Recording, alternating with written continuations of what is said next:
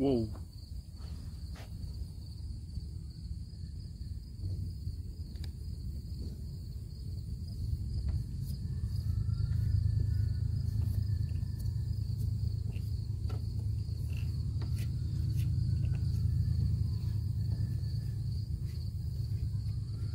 That's a big one.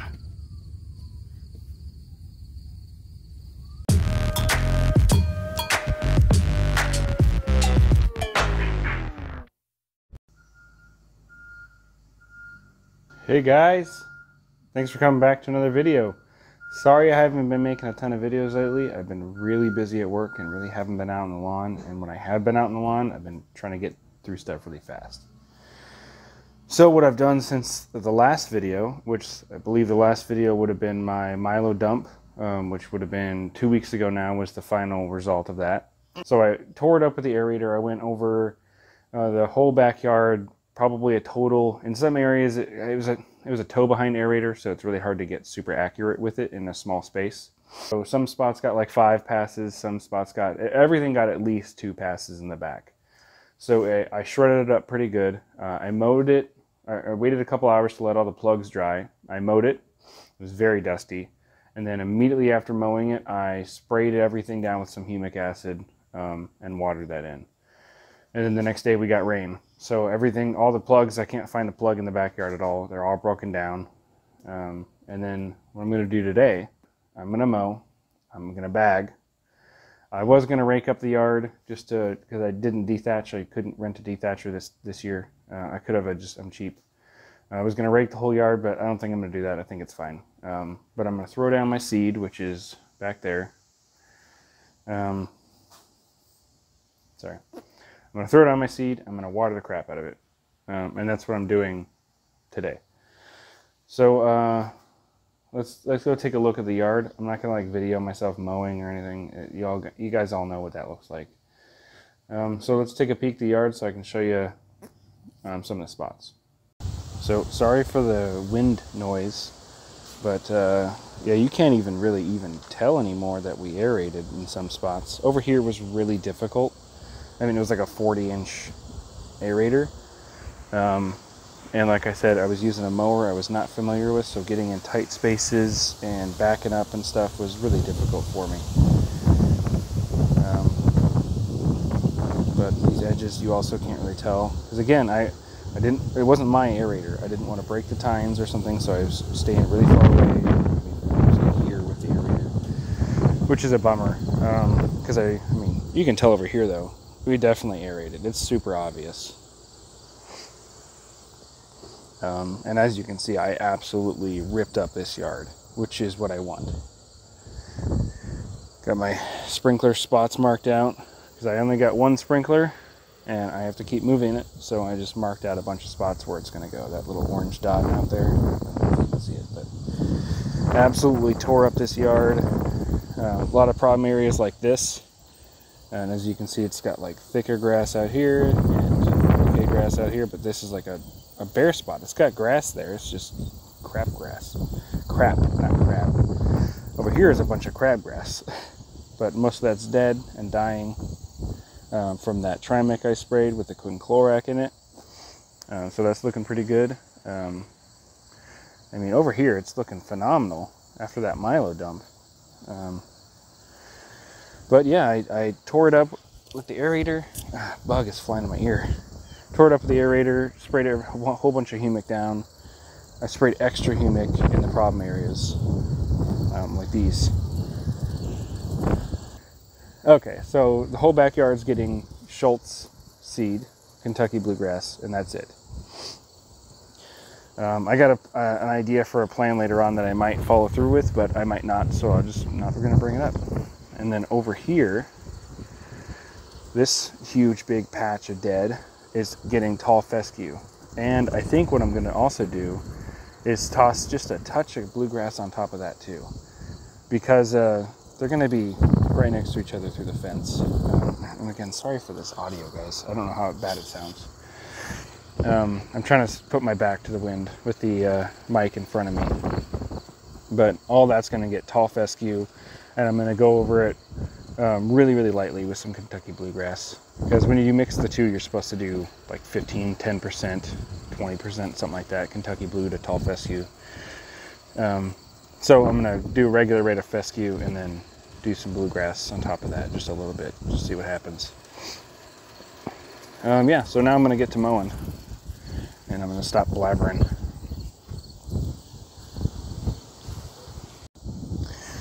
All right, guys. Again, still windy, so apologies for the audio if it's bad, but we're ready to seed. I mowed. You can tell it's pretty short. I mowed it down to two inches. I was going to go down to one, but my mower scalps in too many spots because I really need to smooth out, especially over here. It's really, thanks to the trees probably, um, but it's really bumpy. It's really uneven. It's all over the place. Um, but I'll I'll worry about smoothing and leveling and stuff next year um, when I have more time and stuff. But I got my grass seed, Kentucky bluegrass, and like I said, it's Schultz which um, is, in my opinion, from what I've looked at and researched and everything, it's just a better version of Scott's. Basically, doesn't have any coating, um, so if I get a 10 pound bag of seed, I get 10 pounds of seed. Uh, speaking of Scott's, I got their starter with the uh, mesotrione in it, um, and right here we'll take a look. Right there, mesotrione 0.08%. So this will cover 5,000 square feet. I'm not going to do a Milo thing and put all of it on the 3,800 square feet. I'm going to do it at the exact bag rate. The reason I need to do that is because I have an extra probably a 1,000 square feet over on the side yard over here, around the corner, where I'm seeding tall fescue. Uh, so I was going to use, uh, you guys have probably seen it already, but I have a Scott's Basic um, spreader. but I, because there's so much bare spots like this, just all over the yard, uh, I want to be a little bit more precise and accurate. So I got this a while ago. I haven't shown as part of my equipment, but it's a Scott's Whiz. Um, and the reason I want to use that is because I can hold it, and then as I'm holding it, I can reach down and grab stuff and spread it if I need to. Uh, and this one has an edge guard where my Scott's Basic does not. Um, so yeah, I'm not going to film myself spreading because I I don't have a great tripod. It's windy, so this little tripod I'm using right now will blow over and my phone will break or get a crack or something. Um, plus, I mean, you guys you guys know all this stuff. So so um, let's take a look here at the analysis of this seed. So we got Argyle, uh, Barari, and Concerto, or con- yeah. Uh, we got um, other crop 0.67%, which really, if you want really good results, you want zero other crop and you want zero weed seed. Um, but that's not what I got going on, so that's okay. Um, again, I am doing the with the weed preventer um, starter, um, and really, my what I really want to do is just get this lawn thick and lush. Um, if that's also including a little bit of weeds, that's okay. I can take care of it next spring, um, or you know whatever. Um, see the test date, 519. So this is pretty new.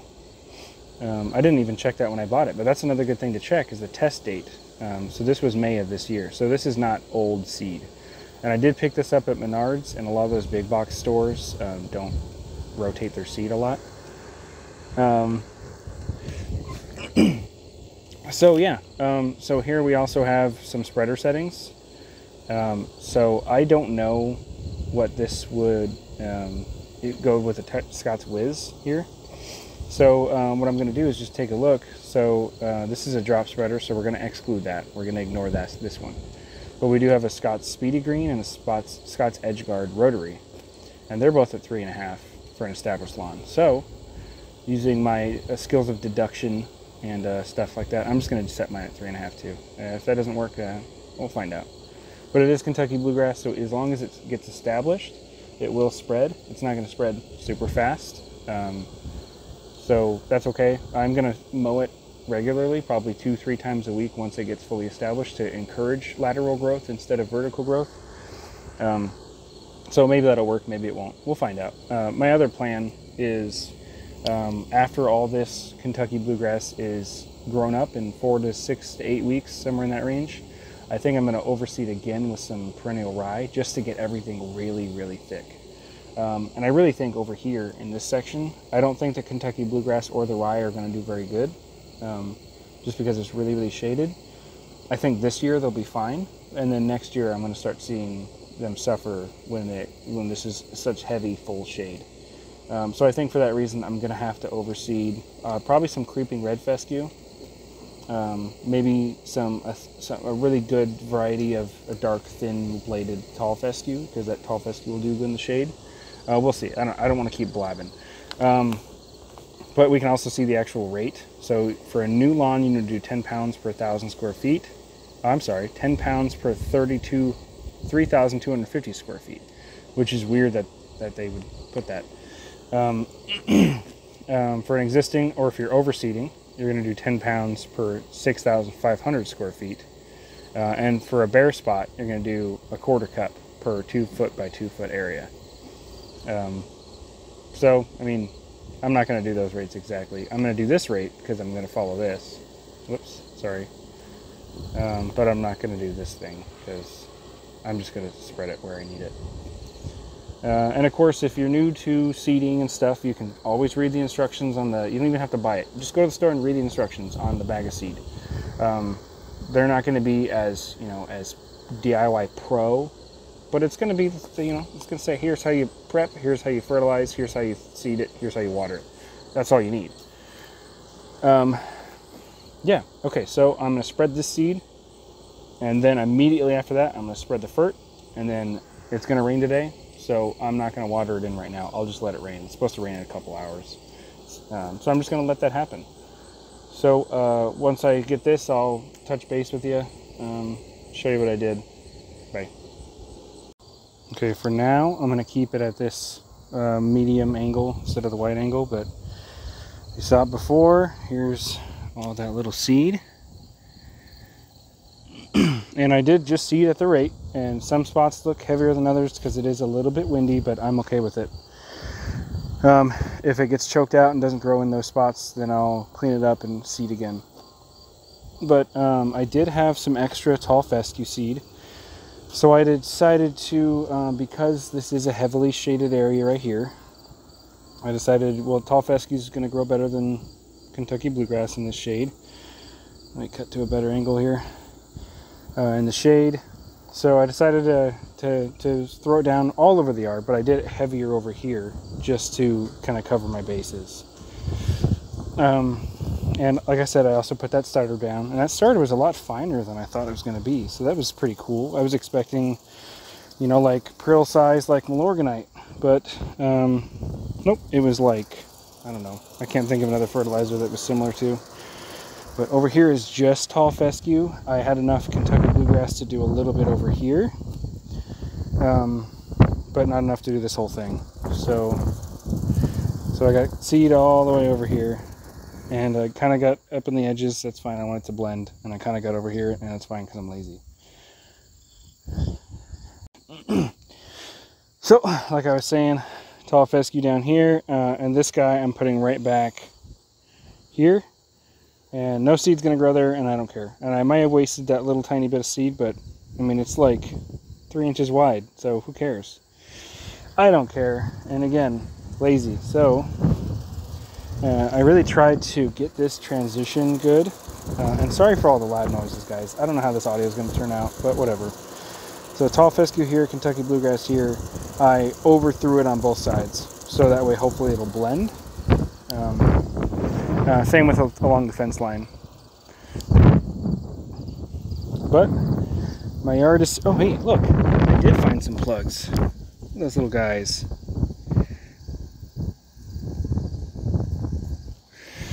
All right, well, I'll do a follow-up to this in a couple weeks, which is when the fescue should be growing in, and then a couple weeks after that, the bluegrass should be growing in. Um, but what else am I going to do here? Well, um, not today, since I put the starter fertilizer down today with the seed. In a week, I'm going to put some Milo down. It might seem like a lot, but I'm going to do it, see what happens. Uh, and if that looks good after a week, then a, another week after that, so two weeks after the first Milo app, I'm going to put another apple Milo down. Um, by then, I'm probably going to start mowing it. Um, and I don't know if you can see these. Let me flip the view here. So there's one. There's one. And there's one. Those are my sprinkler markers. Um, so I have one sprinkler, and it's that little blue guy up there sitting on the table. Um, and two hoses here, but I'm going to be walking on this grass from from today. Well, it's gonna, supposed to be raining like all week, so I'm not going to have to walk on it too much. But I'm going to be walking on this grass, and there's a good chance that after all the rain we're getting, it's going to be some nice cool weather rolling in. The kids are going to play on the grass, and it's just going to happen. So if if I do get some baby grass stomped on, that, I don't care. That, you know, that sucks for me. I'll just see it again. Um, so I'm going to be walking on it. I'm going to be mowing it because I don't want to get let it get too tall. Once this hits about probably five or six inches, I am going to mow it. So, um, you know, if the Kentucky bluegrass is still baby and I crush a bunch of it with the mower, too bad. That sucks. Um, but that's the plan, and that's what happened. Um, yeah. So in an effort to to not blab too much, I'm gonna cut myself off here. Uh, thanks for watching. Bye bye.